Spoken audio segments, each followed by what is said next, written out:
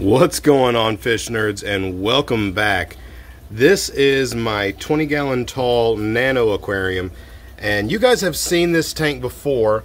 Uh, this is one I scaped years ago, and uh, this is the tank where the Mexican dwarf orange crayfish used to live back when I had those. Unfortunately, they never bred for me, and uh, they only have a lifespan of one to two years, so I no longer have the dwarf orange crayfish. And uh, you may also remember I had the exclamation point rasboras in here for a little while, uh, but they just got to where I was I was just kind of bored with them. They didn't really do much. Couldn't really see them very well in this tank. They hit a lot, and as small as they were, I just kind of got bored with them. So I actually gave those away uh, to my mom, actually. So they're living in a 10 gallon aquarium at my mom's house now. So this tank needed some fish in it, and it's been a while since it's had fish in it. And uh, I picked up these Pseudomugil Gertrudae Aru 2s at my local fish store about a week ago. And I am loving these guys. And uh, I picked up 10. I got five males and five females, hoping to have a little breeding group. Maybe I'll try to breed them here in the future. I think that'd be pretty sweet and uh, build these numbers up in this tank a little bit. Because I think this tank could handle a few more but even just having the 10 in here that I have has been awesome and I find myself just sitting in this tank and just staring at these guys.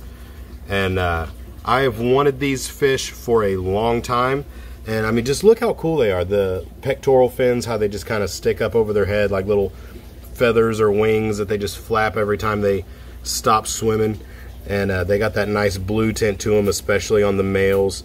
And just a really neat little fish really active really colorful.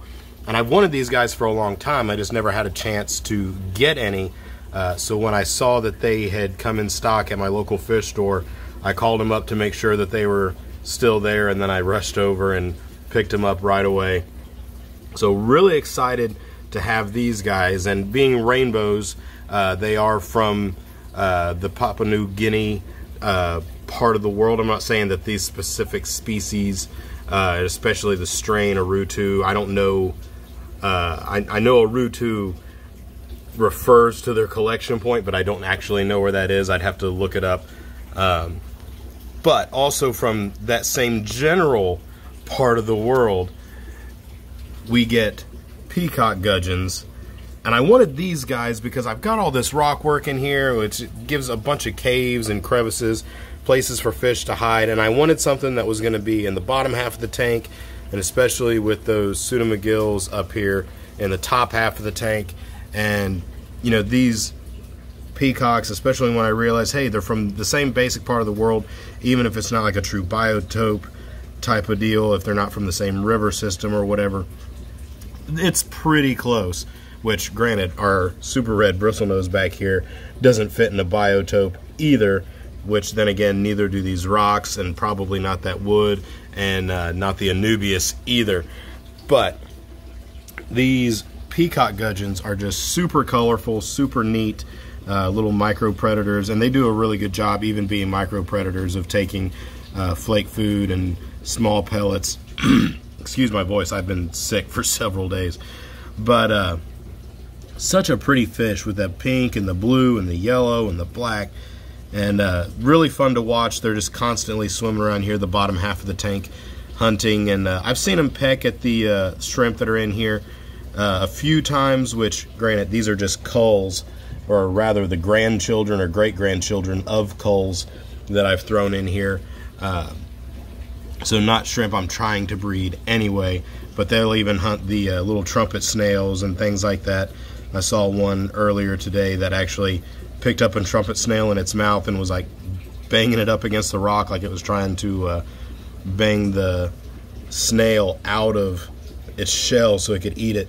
But look at that shrimp actually though. Hold on, pause. We we pause this message to bring you a really cool shrimp. It's like a oh man, I'm struggling to get him in focus, but he's red on top and like a blue black on bottom. That guy is cool. That guy is really cool. But anyway, really liking the activity and the life that's going on in this tank now with the peacock gudgeons down here on the bottom. And they are a fish that likes to have a lot of places to hide, but I've noticed that because they have so many places to hide, not just with the plants up there, but with all these caves and nooks and crannies and things, they haven't tried to hide much. They haven't been acting shy at all. And uh, in the store, a lot of times, if there's any kind of structure in there, you'll see them either in the corner of the tank or under a structure or something. But here in this tank, they've just been out and about, constantly moving around, super fun to watch. And uh, these Pseudomugils, man, I just love these fish. So I'm gonna say this is probably the perfect stocking for this tank. Uh, not to say that all 20 gallon tanks should have McGills and Peacock Gudgeons, but for what I was trying to get here to have an active tank with small, colorful fish, uh, that, to go with the scape that I had, this was absolutely the perfect stock. And uh, I'm super stoked with it. And I, I apologize, guys. This is a very different video for me. I don't usually just come up to a tank and show you the fish that's in it and just talk about how much I like them. But that's kind of what I've been doing with what little bit of free time I have is just sitting in here and uh, enjoying how much I like these fish. So I figured I may as well film them and uh, show them to you. And if you would like to get a species profile on either of these fish, either the the rainbow fish here or the peacock gudgeons down here, either one, let me know in the comments below and uh, we can do a species profile on how to keep these guys and maybe even breed them. And like I said, I'm hoping that maybe I get a chance to uh, breed these rainbows. I think that'd be really, really cool. And also, real quick, guys, I do want to give a huge shout out to our channel sponsors, flipaquatics.com. Uh, that's not where I got these fish, but they do sell nanofish, they sell freshwater plants, and they sell fish food, shrimp food, and of course, they sell uh, freshwater shrimp, uh, neocaridina, caridina. They don't sell culls like these. They sell some really, really nice shrimp. In fact, they're the only place I will buy shrimp uh, is from flipaquatics.com. And uh, Rob from Flip has been a buddy of mine for years, and uh, even before he uh, came to me and asked me about sponsoring the channel. And uh, so that just made it an easy yes because I already know the company is outstanding, their products are outstanding, their service is outstanding. And uh, Rob and Amanda are just awesome people. So, really happy to be partnered up with them and excited that they uh, chose to reach out to us to sponsor the channel. So, give them some love. Go check out flipaquatics.com and uh, if you order anything, make sure you leave them a note to say that I sent you there. But yeah, guys, this is the tank update. I, I know this is a little different for me, but uh, I didn't really have a whole lot of time to work on much. Like I said, I've been sick, and uh, we've got a lot of other stuff going on as well. Uh, baby's only a few weeks away, and so that leaves us uh, pretty busy on top of everything else that's already going on.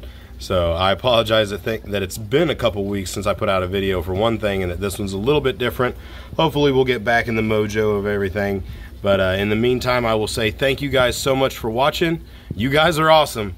God bless you fish nerds and I'll see you next time.